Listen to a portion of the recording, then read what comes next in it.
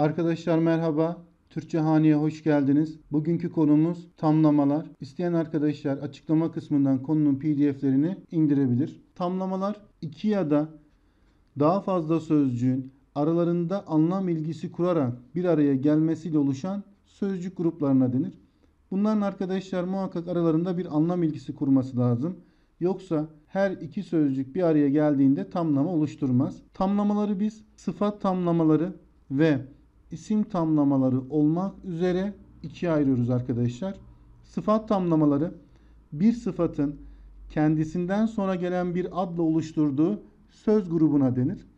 Örneklerimize bakalım. Şimdi ben örnekleri bilerek ayrı ayrı yazdım ki arkadaşlar yazması daha kolay olsun diye. Yemyeşil çimenlerin üzerine oturmuş müzik dinliyordu cümlesinde. Bakın çimen nedir? İsimdir. Nasıl çimen? Yemyeşil çimen. Yemyeşil sözcüğü burada niteleme sıfatıdır. Sıfat artı isim nedir arkadaşlar? Sıfat tamlamasını oluşturur. Her zaman haklı olduğunu düşünüyorsun cümlesinde ise zaman isim hangi zaman? Her zaman. O zaman belli olmadığı için biz buna ne diyoruz? Belgisi sıfat diyoruz. Sıfat artı isim bu da sıfat tamlamasıdır. O sanatçı henüz ikinci albümünü çıkarmıştı cümlesinde albüm isim kaçıncı albüm? İkinci albüm. İkinci sözcüğü burada sıra sayı sıfatıdır. Sıfat artı isim nedir arkadaşlar? Sıfat tamlamasıdır. Sanatçı isim hangi sanatçı? O sanatçı ismi işaret yoluyla belirttiği için buna biz işaret sıfatı diyoruz. Sıfat artı isim neyi oluşturur? Sıfat tamlamasını oluşturur. Arkadaşlar işinizi kolaylaştıracak önemli bir notumuz var. Adlaşmış sıfat ve bazı ünvan sıfatları hariç ki bunlar genellikle arkadaşlar isimlerden sonra gelen ünvan sıfatlarıdır. Tüm sıfatlar sıfat tamlaması olarak kabul edilmektedir. Bakın burada niteleme sıfatı, belgisiz sıfat, sayı sıfatı ve işaret sıfatı sıfat tamlaması olarak kullanılmıştır. Yani şunu diyebiliriz. Niteleme sıfatları aynı zamanda belirtme sıfatları sıfat tamlamasını oluşturur. Geçiyoruz isim tamlamalarına. En az iki adın değişik ilgiler kurarak bir araya gelmesiyle oluşan söz gruplarına denir. İsim tamlamaları kendi içinde dörde ayrılır arkadaşlar. Belirtili isim tamlaması, belirtisiz isim tamlaması, takısız isim tamlaması ve zincirleme isim tamlaması olmak üzere. Tamlamalarda önemli iki tane kavramımız var. Bunlardan birincisi tamlayan, diğeri ise arkadaşlar tamlanandır. Tamlayan genel itibariyle birinci sözcüğü oluşturur. Tamlanan ise arkadaşlar ikinci sözcüğü oluşturur. Aynı zamanda tamlanan ekine biz ne adını veriyoruz? İyelik eki ya da diğer adıyla sahiplik eki ya da diğer anlamıyla da arkadaşlar aitlik eki denmektedir buna. Bu ekler tamlayan ekimiz ın, in, un, ün ekleridir. Diğer eklerimiz ise nın, nin, nun, nündür. Yalnız buradaki birinci neler arkadaşlar kaynaştırma harfidir. Bunu da belirtmiş olalım. Tamlanan yani iyelik eklerimiz ise yine S kaynaştırma harfi I, I, U ve Ü ekleridir. Örnekler üzerinde görmüş olalım. Bilgisayarın kapağı buradan güzel görünüyor cümlesinde bakın. Bilgisayarın kapağı. Buradaki ın eki nedir arkadaşlar? Birinci sözcükte olduğu için tamlayan ekidir. Buradaki ı eki ise iyilik ekidir. Diğer adıyla da tamlanan ekidir. Her ikisi de ek aldığı için biz buna ne diyoruz? Belirtili isim tamlaması diyoruz. Komşular müziğin sesinden rahatsız olmuş cümlesinde ise bakın yine müziğin sesi anlamlı bir bütün oluşturmuş. Buradaki ineki nedir arkadaşlar? Tamlayan ekidir.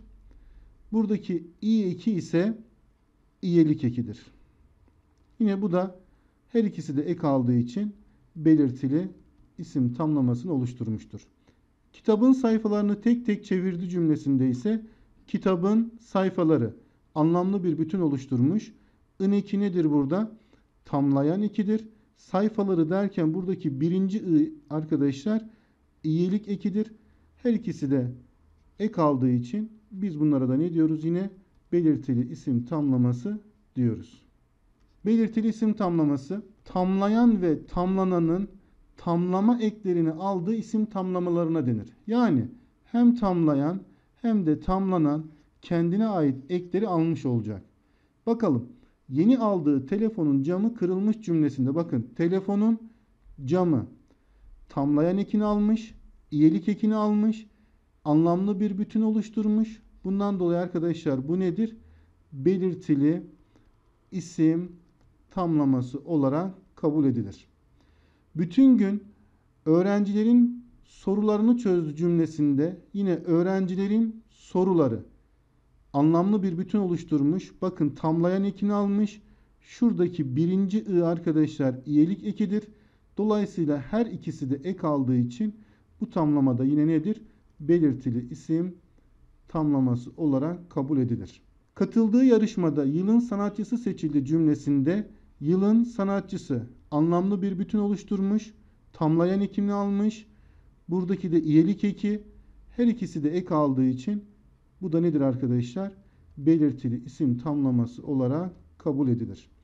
El ele tutuşarak gecenin karanlığında ilerliyorduk cümlesinde ise gecenin karanlığı belirtili isim tamlamasıdır. Birincisi ek almış, ikincisi de ek almış. Bundan dolayı da arkadaşlar belirtili isim tamlaması olarak adlandırılır. Geçelim belirtisiz isim tamlamasına. Bakın tamlayanın ek almadığı, tamlananın ise iyilik eki aldığı isim tamlamalarına denir.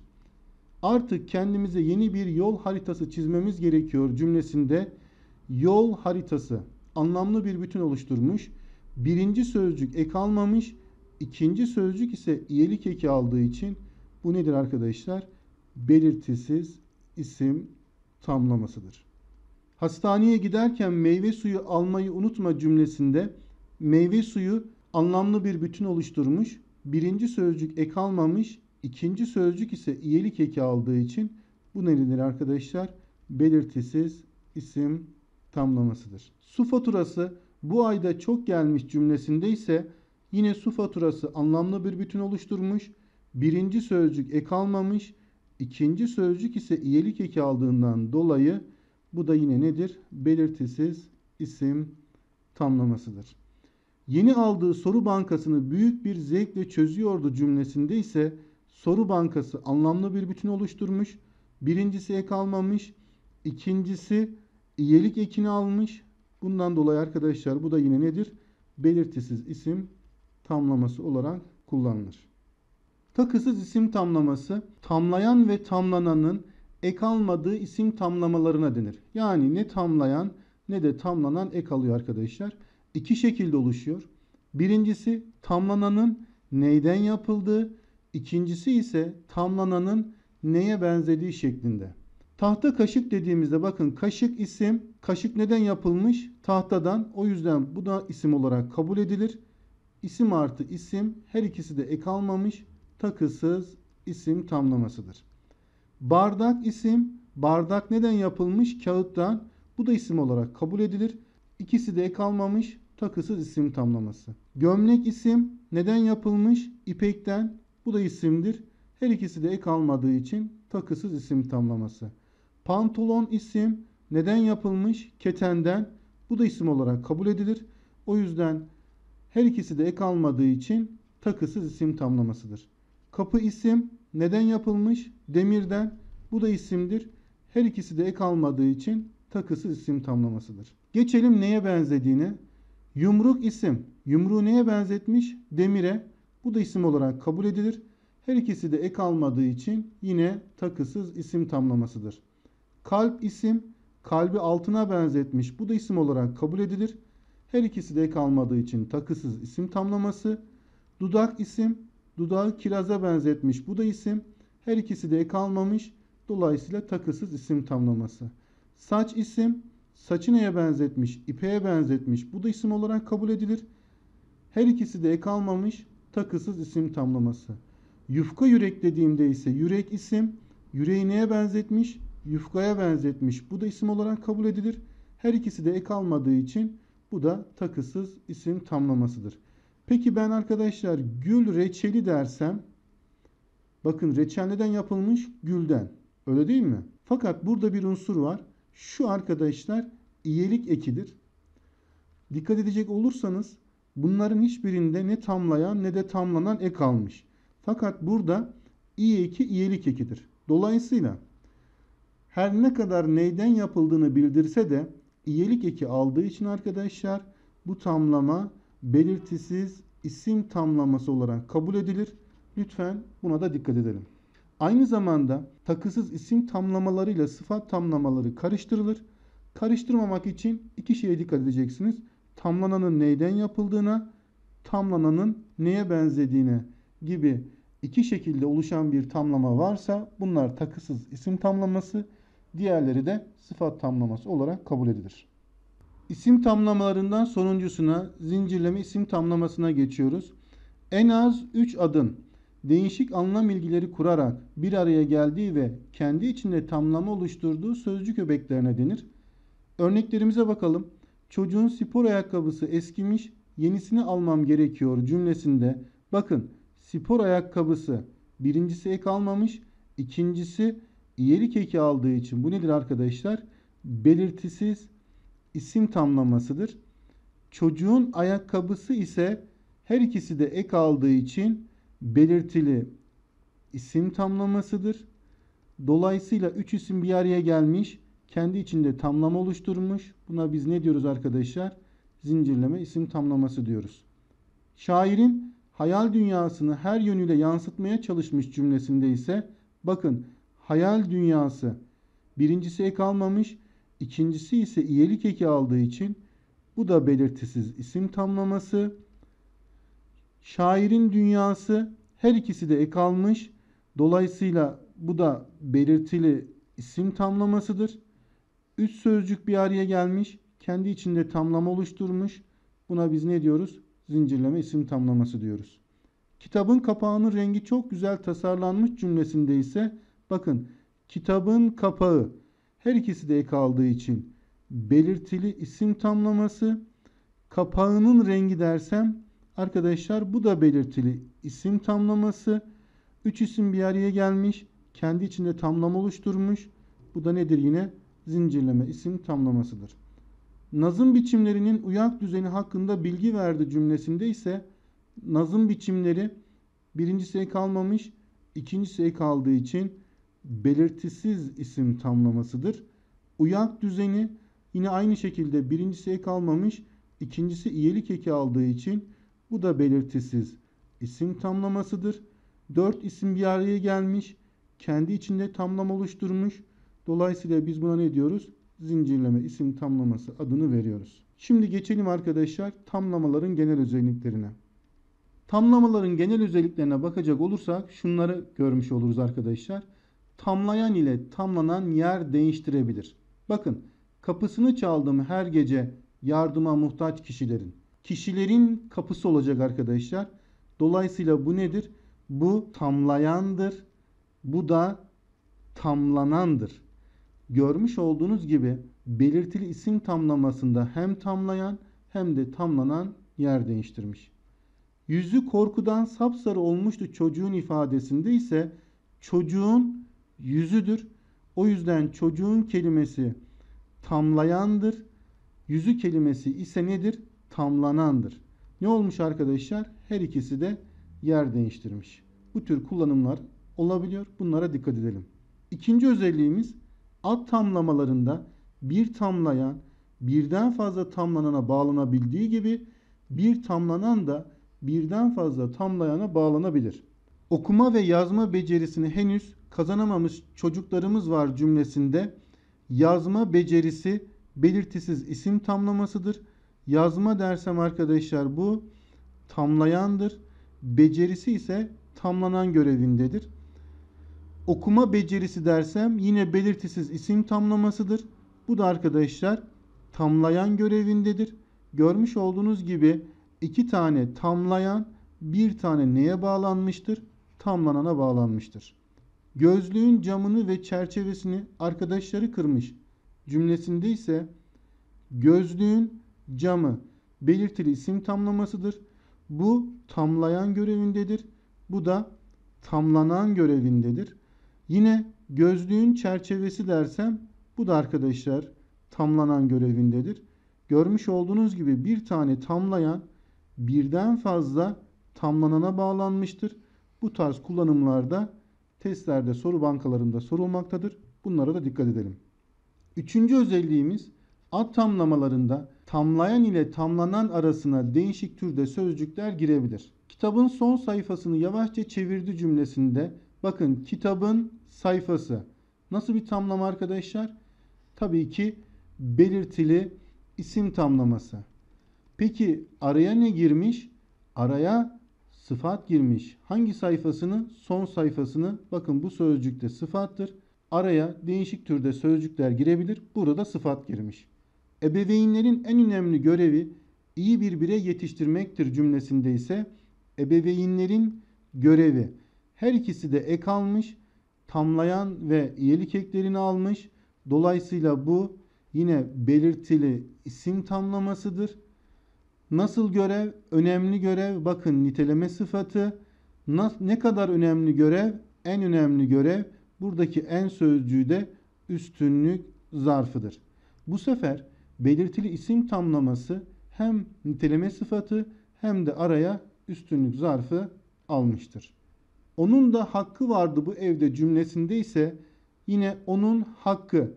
Her ikisi de ek aldığı için tamlayan ve iyelik eklerini aldığı için bu tamlama da belirtili isim tamlamasıdır. Araya ne gelmiş arkadaşlar? Bakın araya da DDA bağlacı girmiş.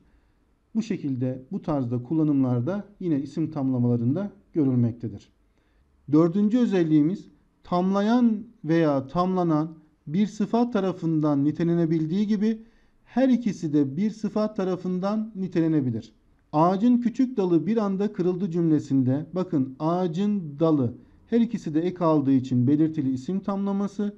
Bu nedir arkadaşlar? Tamlayandır. Bu da tamlanandır. Bakın burada nasıl dalı, küçük dalı niteleme sıfatıdır. Görmüş olduğunuz gibi tamlanan sıfat almış. Yeşil ağacın dalı bir anda kırıldı cümlesinde ise yine ağacın dalı belirtili isim tamlamasıdır. Bu sefer ise arkadaşlar tamlayan sıfat almış. Nasıl ağaç? Yeşil ağaç. Bu da niteleme sıfatı görevinde kullanılmıştır.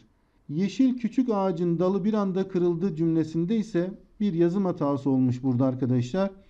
Yeşil ağacın küçük dal olacak. Bakın ağacın dalı yine belirtili isim tamlamasıdır. Nasıl dalı? Küçük dalı niteleme sıfatı. Nasıl ağacın? Yeşil ağacın niteleme sıfatı. Burada ise hem tamlayan hem de tamlanan bir sıfat tarafından nitelenebilir. Bu tür kullanımlara da dikkat etmek gerekir. Beşinci özelliğimiz ad tamlamalarında bazen dendan ayrılma hal eki tamlayan ekinin yerine kullanılabilir. Bakın öğrencilerden biri sınava girmeyeceğini söyledi cümlesinde ben buradaki den ekinin yerine in getirebilir miyim? Öğrencilerin biri desem yine anlamlı bir bütün oluşturmuş olur ve belirtili isim tamlaması kurar. Bundan dolayı arkadaşlar bu tarz kullanımlara da dikkat etmek gerekir. Sorduğu sorulardan bazıları gerçekten çok zordu cümlesinde sorulardan bazıları. Ben buradaki dan ekinin yerine ın ekini getirirsem soruların bazıları olur. Belirtili isim tamlamasıdır. Görmüş olduğunuz gibi dan den eki bazen ın in tamlayan eki yerine kullanılabiliyor. Ad tamlamaları bazen bir sıfat tarafından nitelenebilir ki özellikle bunu belirtisiz isim tamlamalarında görüyoruz arkadaşlar. Bakın kutup ayısı birincisi ek almamış, ikincisi iyilik eki aldığı için bu belirtisiz isim tamlamasıdır. Burada dikkat etmemiz gereken sözcüğün isim tamlamasını belirtmesidir. Nasıl kutup ayısı? Yaşlı kutup ayısı niteleme sıfatıdır. Görmüş olduğunuz gibi isim tamlamasını belirtiyor. Köyden taze tavuk yumurtası getirmişti bize cümlesinde ise tavuk yumurtası birincisi ek almamış, ikincisi ek almış. Dolayısıyla bu belirtisiz isim tamlamasıdır. Nasıl tavuk yumurtası? Taze tavuk yumurtası niteleme sıfatıdır. Yine niteleme sıfatı burada belirtisiz isim tamlamasını belirtmiştir. Ad tamlamaları sıfat ya da zarf görevinde kullanılabilir. Mevsim sonu ürünlerde büyük indirim varmış cümlesinde bakın mevsim sonu birincisi ek almamış ikincisi iyilik eki aldığı için bu tamlama nedir? Belirtisiz isim tamlamasıdır. Ürünler isim hangi ürünlerde? Mevsim sonu ürünlerde görmüş olduğunuz gibi arkadaşlar bu da işaret sıfatıdır. Belirtisiz isim tamlaması işaret sıfatı görevinde kullanılmıştır. Kış günü kiracıları evden çıkardı cümlesinde ise kış günü birincisi ek almamış, ikincisi iyilik eki almış. Bu da belirtisiz isim tamlamasıdır. Ne zaman çıkarmış? Kış günü. Fiile sorduğumuz ne zaman sorusu bize neyi verir? Zaman zarfını verir. Bu sefer de belirtisiz isim tamlaması zaman zarfı görevinde kullanılmıştır. Sekizinci özelliğimiz zamirlerle de isim tamlaması kurulabilir.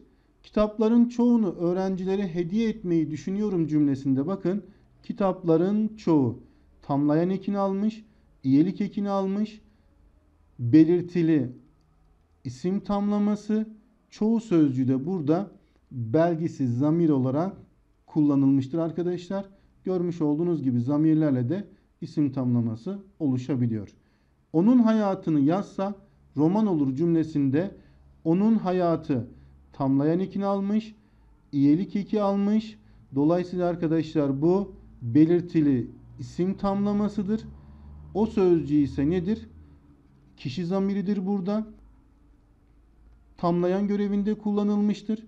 Yine görmüş olduğunuz gibi burada da zamirlerle isim tamlaması yapılmıştır. Evet arkadaşlar son özelliğimize geçiyoruz. Dokuzuncu özellik ad tamlamalarında bazen tamlayan düşebilir. Bakın çantasında her türlü ilk yardım malzemesi vardı cümlesinde. Çantasında kelimesinin başına onun getirebilir miyim? Evet. Onun çantasında her türlü ilk yardım malzemesi vardı. Anlamlı bir bütün oluşturdu. Peki onun çantası dersem bakın tamlayan ekini almış, iyilik ekini almış, belirtili isim tamlamasıdır ve tamlayanın düştüğünü görüyoruz arkadaşlar. Bir daha arkadaşlarım buraya gelmesin. Peki arkadaşların kelimesinin başına ben senin getirebilir miyim? Bir daha senin arkadaşların buraya gelmesin. Evet bakın anlamlı bir bütün oluşturuyor. Dolayısıyla senin kelimesi nedir? Tamlayandır. Arkadaşların kelimesi ise tamlanandır. Tamlayanın düştüğü görülmektedir arkadaşlar. Bu tarz kullanımlara da dikkat edelim. Şimdi bununla alakalı çok önemli bir notumuz var. Bu not şu. Soru kökünde belirtilmediği müddetçe bunlar arkadaşlar yani şunlar şu madde 9. madde tamlama olarak kabul edilmez. Buna da dikkat edelim. Bazı arkadaşlar yukarıdaki cümlede kaç tane tamlama var dediğinde bu tarz tamlamaları da bulmaya çalışıyor. Hiç uğraşmayın arkadaşlar. Soru kökünde belirtilmediği müddetçe bunlar tamlama olarak kabul edilmemektedir. Evet arkadaşlar videomuzun sonuna geldik. Kanalıma abone olduktan sonra bildirimleri açmayı ve kanalımı arkadaşlarınıza önermeyi lütfen unutmayın. Bir sonraki videoda buluşmak dileğiyle hepiniz hoşçakalın.